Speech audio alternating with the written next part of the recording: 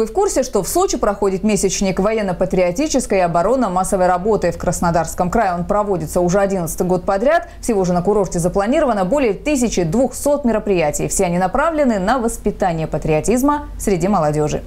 Здравствуйте, я Инга Габеша и на канале ФКТ. Время программы «В курсе». В этой студии мы говорим на самые разные темы, затрагивающие интересы всех сочинцев.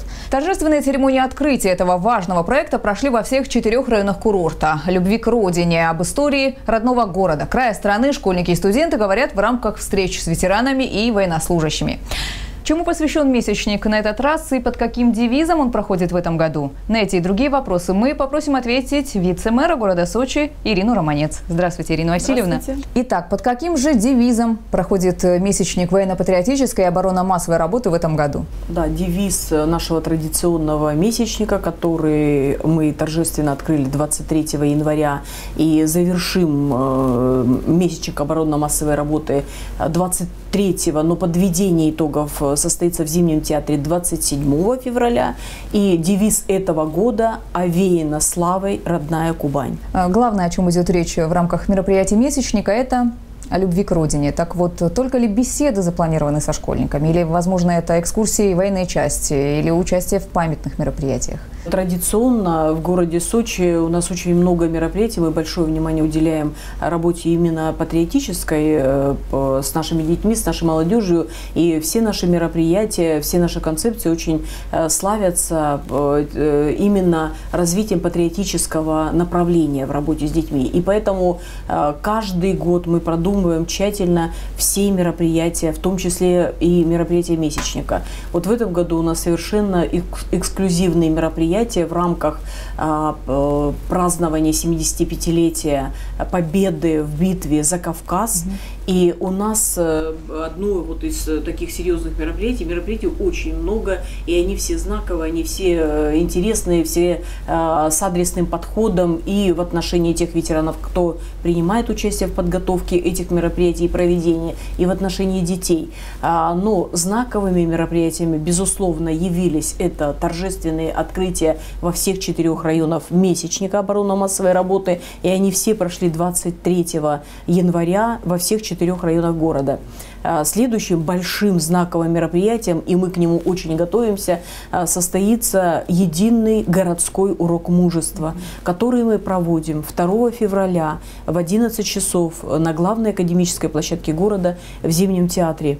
И этот проект урок, урока мужества в этом году посвящен трем основным датам Великой Победы. Победы – это Э, дата 27 января снятия э, э, блокады Ленинграда. 2 февраля это дата, ознаменованная победой в Великой Сталинградской битве. И, безусловно, 9 октября в этом году это 75 лет освобождения Краснодарского края. И вот эти три даты, красные линии, пройдут через сюжет этого грандиозного урока мужества. И это не просто большое э, очень эмоциональное и очень содержательное э, режиссерское мероприятие на сцене Зимнего театра. Это еще и очень педагогически простроенный, продуманный интерактив э, в холле Зимнего театра. В этом году у нас 7 основных интерактивных площадок, через которые, как по станциям, пройдут представители всех 70 школ нашего города. Все школьники пройдут через каждую станцию, а это такие станции, как блокадный Ленинград и те 125 грамм хлеба, которые выдавались э, всего как норма питания в блокадном Ленинграде. И наш э, партнер хлебокомбинат уже печет нам, конечно, это хлеб без опилок, понятное дело, но это тяжелый хлеб из э, тяжелый из грубого помола муки. И вот эти 125 грамм мы дадим, покажем детям, что такое блокадный Ленинград. И другие э, наши станции, они будут посвящены именно погружению в, это, в эту тему, потому что э, дети, и это психологическая норма детей 75 лет – это необыкновенно огромный отрезок времени, и они же все воспринимают очень издалека. А мы хотим вот этими фактами еще раз приблизить и сказать детям, что это заслуга ваших эм, Э, прадедов, это э, заслуга ваших э, прабабушек, что мы выстояли в той страшной войне. Ко всему прочему, сейчас во всех школах проходят смотры песни из строя. Маршировать под патриотические песни учатся даже те ребята, которые ни разу этого не пробовали. Будут ли они поощрены? Будут ли определены лучшие команды? В этом году один из акцентов нашего месячника. Мы в этом году а, таким мощным парадом строя, э, смотром строя и песни всех победителей четырех районов э, города мы будем завершать месячник оборонно-массовой работы 27 февраля. Перед зданием Зимнего театра у нас будет большой парад с пением, с исполнением песен э, военных лет. И это мы уже это пробовали, и мы знаем, что это и детям, и педагогам, и родителям очень нравится. Это действительно вдохновенное мероприятие, мы к нему готовимся.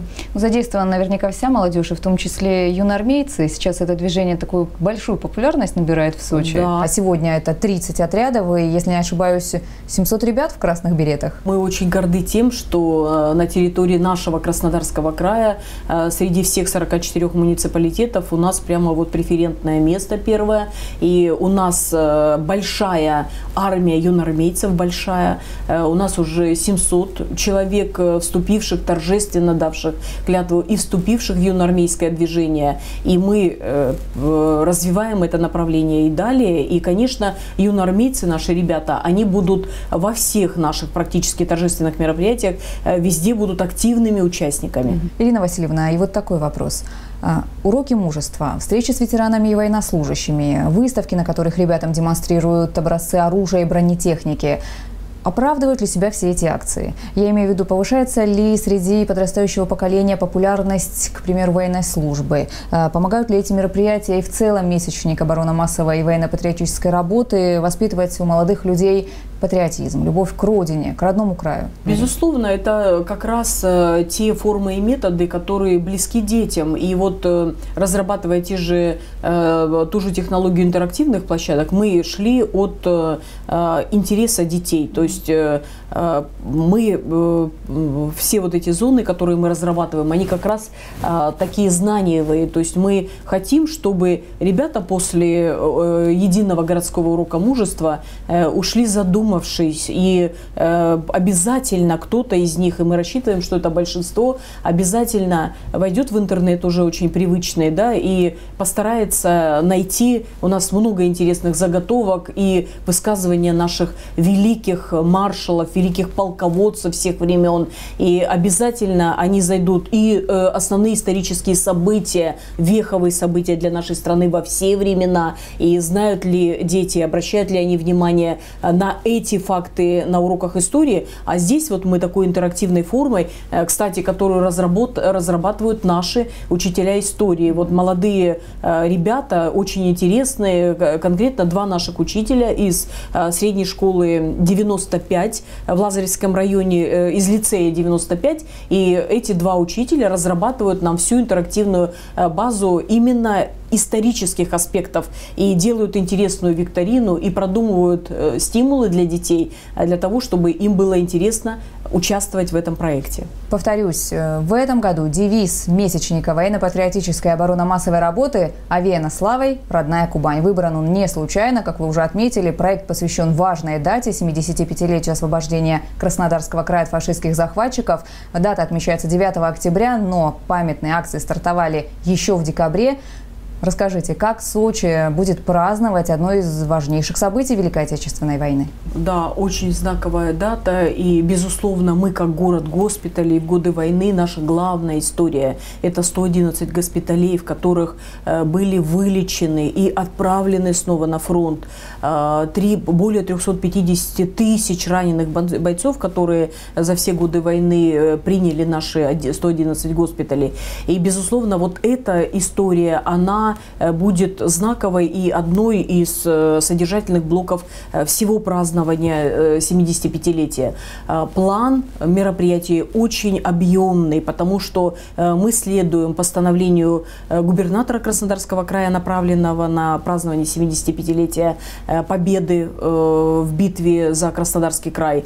А наше есть, соответственно, постановление главы города и э, Анатолий Николаевич Пахомов. Вот буквально вчера прошло большое расширенное заседание оргкомитета «Победа», уже третье в этом году, где глава э, ставит очень четкие задачи и по э, масштабному проведению нашего месячника оборонно-массовой работы в именно и с детьми, и со всем населением. У нас будет прекрасный э, прием, вот помимо знаковых мероприятий, это открытие оборонно, месячника оборонно-массовой работы. Э, мы их проведем, я надеюсь, что у нас все получится, э, все задумки реализуются. 2 февраля мы единый городской урок мужества проводим и приглашаем не только делегации со всех 70 школ нашего города, безусловно, это для них, но и основные городские когорты, это все общественные организации, организации, представители депутатского корпуса, представители общественности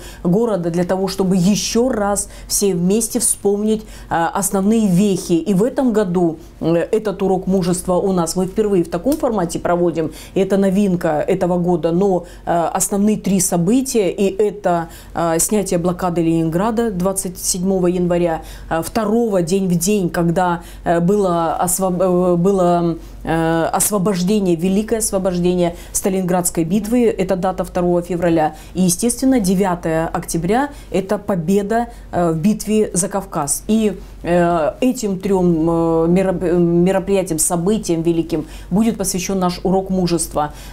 Вследствие мы 22 февраля мы проводим большой прием главы города, председателя городского собрания Сочи и мы будем чествовать и награждать э, людей, и наших ветеранов, и э, тех педагогов, которые сегодня работают с детьми. И очень точечно к каждой фамилии подходим, потому что это как раз та площадка. И воинские части, что самое важное, они наши партнеры. Мы вместе с ними ведем эту большую работу с нашими детьми. Воинские части, вот в рамках приема мы будем всех благодарить за работу э, над патриотическим воспитанием нашей молодежи. И завершим это 27 февраля большим парадом участникам э, наших юноармейских э, подразделений, наших казачьих подразделений. Будет тоже прекрасное патриотическое мероприятие в Зимнем э, театре. Угу. То есть продолжение месячника станет подготовка ко Дню Победы, верно? Глава города Анатолий Николаевич Пахомов вчера провел третье в этом году заседание оргкомитета «Победа», и дал э, всем э, структурным подразделениям администрации очень четкие установки по всем 20 направлениям работы э, в рамках подготовки к 9 мая. Начиная с ремонтом квартир, с ремонтов квартир нашим ветеранам, одиноким и одиноко проживающим, и это традиция в городе Сочи, э, продолжая обязательное развитие программы наших санаториев, э, которые бесплатно каждый год оздоравливают э, более 200, около 300 человек. Мы в прошлом году бесплатно 7-10 дней наши санатории, причем сами, соревнуясь уже друг с другом, вносили свои предложения. Мы, например, очень благодарим Чеботарь, гостиницу, которая предложила предложение за предложением, а дайте нам еще столько ветеранов, а мы вот еще на эту дату их хотим пригласить. И люди с удовольствием откликаются, и мы очень благодарны за наших ветеранов а, нашим социальным партнерам и поздравления к 9 мая, и подарки. Глава четко поставил задачу, что все наши категории, это 3900 э, ветеранов разных категорий. Конечно, преимущественно это участники и инвалиды Великой Отечественной войны, это жители блокадного Ленинграда, у нас их осталось уже очень мало. У нас в этом э, году вот 59 человек всего э, людей, которые были защитниками именно Краснодарского края. Это в этом году прямо отдельная категория категория, и э, э, малолетние узники фашистских лагерей, и вдовы ветеранов и участников Великой Отечественной войны, безусловно, это особая категория, и мы их выделяем в особый статус, и, безусловно, труженики тыла. И всего вот этих всех названных мной категорий э, у нас в этом году уже осталось всего 3900 человек. Вот 9 лет назад э, этих категорий было в три раза больше. Поэтому, к сожалению, наши ветераны уходят из жизни. И мы сегодня, почему мы так активно работаем в этом направлении? Потому что они свидетели нашей истории. Они люди, которые действительно продолжают вот эту традицию патриотического воспитания передавать э, всем, э, всей нашей молодежи. И, безусловно, завершится плеяда всех наших мероприятий 9 октября. У нас большой, э, большой проект празднования этой даты. Ну вот завершение будет именно 9 октября. Я уверена, что это тоже будет очень масштабно, очень торжественно и очень эффективно для этой работы. А, хочу добавить, что наряду со всеми этими многочисленными мероприятиями запланирована еще одна акция. А, их именами названы улицы города. А, много ли в Сочи таких улиц? Да, много. Действительно, у нас э, э, много улиц в городе, которые названы именами героев. Но сейчас глава города и на очередном вот оргкомитете была поставлена задача, и эта задача была поставлена и на встрече с вдовами героев Советского Союза. Э, задача об увековечении памяти, продолжении этой э, хорошей традиции в городе Сочи. И глава э, обозначил задачу, что все новые улицы мы в обязательном порядке будем рассматривать, в том числе и вопрос о присвоении этим новым улицам имен наших героев. Что в этом году считается принципиально новым э, в подготовке к празднованию Дню Победы? Это вот наш урок мужества, про который я говорю, потому что вот в таком формате, когда Еще мы все было. вместе, э, такого проекта не было. Все, э, мы, мы каждый раз не повторяемся. У нас в этом году и на 9 мая у нас будет совершенно Э, уникальное такое, ну вот раскрываю немножко э, событие, да, что у нас э, даже будет такая э, историческая эпопея взятия Рейстага.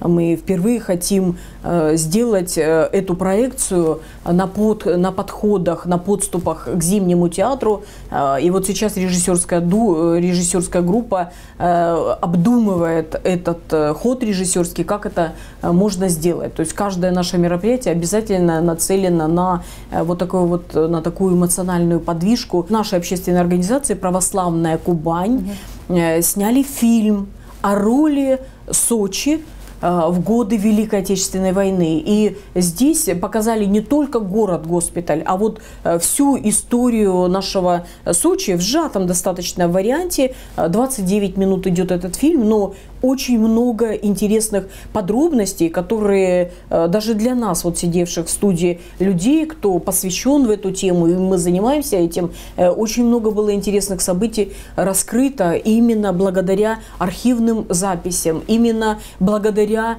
интервью в этом фильме тех людей, э, которые в годы войны были маленькими детьми. Например, меня просто потрясло признание э, ребенка войны и Э, эта женщина, которая была девочкой в годы войны, она говорит, я вот прекрасно помню, как э, это было и как мы, школьники, собирали эм, макулатуру, собирали металлолом, э, получали какие-то денежки, и эти денежки всем городам сдавали для того, чтобы строить танки, строить технику, для того, ну это по всей стране шло, но вот такие трогательные истории именно про наш город. И Э, потрясающе просто. Ирина Васильевна, спасибо вам огромное за ваши исчерпывающие ответы и интереснейшую беседу. Напомню, гостем нашей программы сегодня была заместитель главы города Сочи Ирина Романец.